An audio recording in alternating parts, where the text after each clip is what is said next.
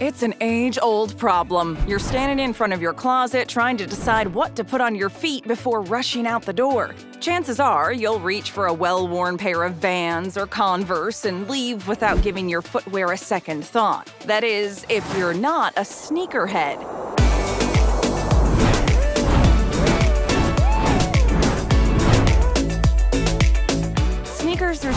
Common that we rarely pause to think about the past or future of the shoes that carry us through our daily lives. The steadfast and humble sneaker has developed into a niche yet profitable collector's market dominated by celebrity endorsements and huge brand names. But to know how it all began, we'll have to travel back a few hundred years. The earliest conception of the modern day sneaker was developed in the 1830s by the Liverpool Rubber Company, and they were called plimsolls. The shoes were mostly worn by the upper classes who had time for leisure activities such as sailing and tennis. But soon the shoes became more common as their grippy soles proved useful for sports. The first shoe designed specifically for running hit the market in 1895. The term plimsolls was traded for sneakers when the U.S. rubber company started manufacturing shoes in America. At the beginning of the sneaker's life, they were solely used for sports, mainly track and field. About a hundred years later, sneakers were now part of people's everyday wardrobe.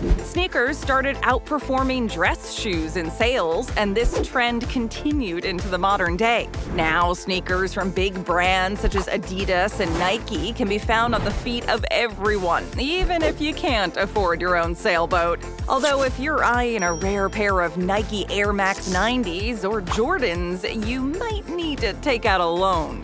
Now, we know Converse as the go to sneaker that can complete any outfit. But until the 80s, Converse All Stars, endorsed by Chuck Taylor, were the shoe for basketball. However, up and coming brands such as Nike and Adidas developed innovative sports technology that outperformed Converse on the court. These brands literally changed the game of basketball, benching Converse. But that was far from the end for Converse. They became part of the uniform for punk rockers like the Sex Pistols and 90s grunge bands such as Nirvana. When it comes to an all around sneaker, Converse are probably the most popular shoe of all time, which is crazy to think about considering they've been around for what seems like forever. So, in the 80s, Nike swooped in on Converse to dominate the sports market. They envisioned big things for their brand, and an endorsement deal with Michael Jordan took them to the next level. Today, Michael Jordan is recognized as the most famous basketball player of all time, thanks in part to his deal with Nike. To play basketball in a pair of Air Jordans in the 80s was to align yourself with Jordan's on court magic. Aspiring basketball players aimed to emulate the Jumpman logo used to market the shoe,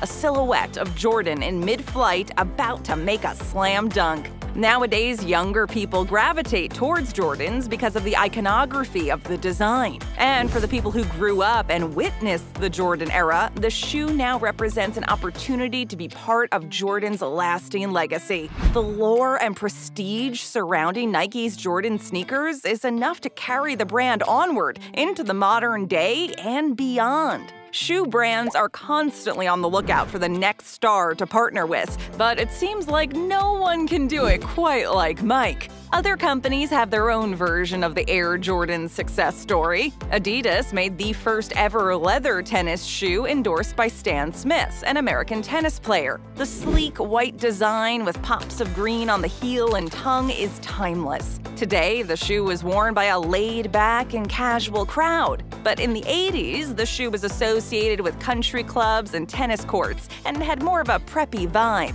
Stan Smiths continued to be successful until 2011 when Adidas surprised everyone. They stopped producing the shoe despite its enduring popularity. But some will say this was a publicity stunt to create more hype. In 2014, they re released the shoe and were met with record breaking sales because of endorsement deals with celebrities such as Pharrell. Today, collectors are more interested in vintage versions of this shoe from the 60s, 70s, and 80s. Anything with Stan's green, smiling endorsement logo is a hot ticket in the sneaker world. In terms of street style, though, nothing beats the Nike Air Max 90s designed by Tinker Hatfield in 2000. 20 years later, this shoe is still one of Nike's best-selling silhouettes. Hatfield's iconic design highlighted the technology that made the sneaker work by exposing the air pocket in the side of the shoe. His innovation elevated the sneaker to a status that even made heads in the world of high fashion turn. One of the most sought after and expensive iterations of this model is Bacon by Dave Ortiz, who ran a sneaker boutique called Dave's Quality Meats. Also, legendary grime pioneer Dizzee Rascal collaborated on this model to create Tongue and Cheek, meant to promote his album by the same name.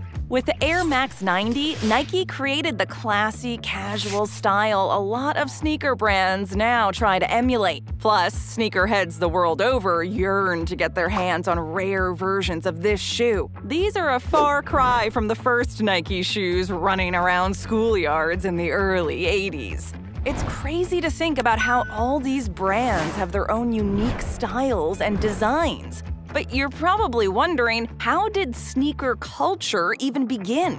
It seems so easy to just order a new pair of shoes online, so how did sneakers gain such a following? Well, urban youth living in New York City during the 80s and 90s were the first to truly appreciate sneakers. Back then, footwear was the most important part of any outfit. A rare sneaker in pristine condition let people know you had good taste and could afford expensive things. The popularity of hip hop music also influenced sneaker culture. Songs like My Adidas by Run DMC and My Air Force Ones by Nelly hyped up certain shoes, causing people to want them even more.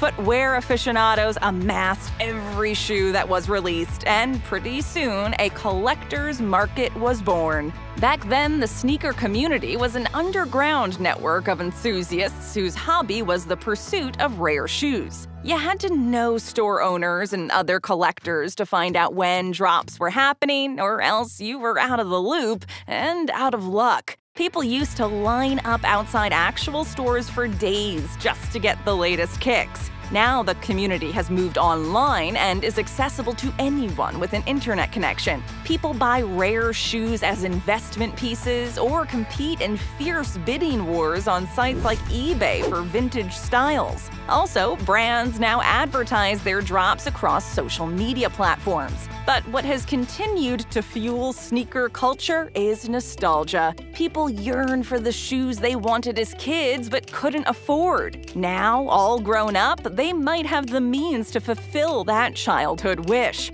For this reason, retro styles will never go out of fashion. People want the shoes that will make them feel young again. But when holding the shoebox in your hands, not everyone is brave enough to actually wear them. To wear or not to wear, that is the question. Some seasoned sneakerheads say the only true way to appreciate a shoe is to wear it out and about. To keep your shoes on a shelf as a trophy is just crazy. What's the point of having the goods if you can't show them off, right? However, sneaker purists, usually new to the game, will scoff at this. They are willing to buy shoes that don't fit or that they know they'll never wear just to expand their collection. But whichever side of the fence you're on, both sides agree that a good sneaker is a work of art. While some revel in the pure joy of wearing art on their feet, others want to preserve the shoes for posterity. For those who grew up thinking sneakers were just another regular pair of shoes to wear around, the idea of collecting them still seems a little strange. It's safe to say that the sneaker craze is here to stay. So, what do sneakerheads have to look forward to?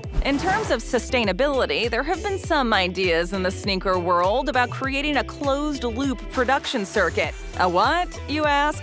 Well, only the material from old, recycled sneakers would be used to create new ones. That's really taking retro to the next level. Many designers continue to experiment with biodegradable fabrics or 3D printing technology to lessen waste. A smaller ecological footprint seems to be the next biggest footwear trend. Also, in 2011, Nike dropped a replica of a shoe featured in Back to the Future 2 called the Nike Mag. Only 1,500 pairs were released, with all of the proceeds going to the Michael J. Fox Foundation for Parkinson's disease. The shoe is wildly expensive and rare, but the self-lacing technology is groundbreaking for people with limited mobility. And just basically pretty cool all around. And you thought the Reebok pump was revolutionary. So next time you're standing in front of your closet deciding what to wear, you might want to give your sneakers a second thought. Will you rock something retro, or are you into a more futuristic look? Either way, what you wear on your feet says a lot about you, especially to a sneakerhead. Thanks for watching, we truly appreciate it. Tap or click another great video, hit that subscribe button, and ring that notification bell.